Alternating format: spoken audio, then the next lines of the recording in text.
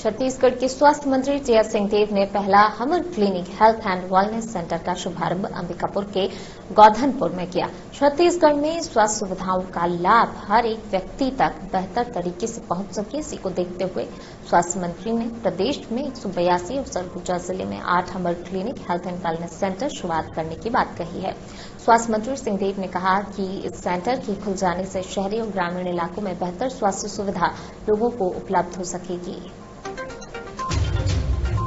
वित्त आयोग के फंड के माध्यम से लागू की जा रही है।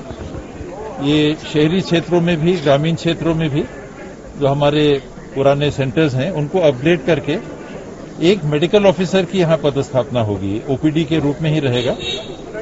दूसरे रूप में अगर आप देखिए तो जो मोहल्ला क्लिनिक कहते थे, दिल्ली में बड़ा चर्चा है, मोहल्ला क्लिनिक की चर्चा है। अंतर उसमें यह आएगा कि यहाँ पूरा इलाज निशुल्क होगा। मोहल्ला क्लिनिक में डॉक्टर सौ दो सौ रुपये पेशेंट से लेके और उपचार करते थे, केवल डॉक्टर उपस्थित होते थे।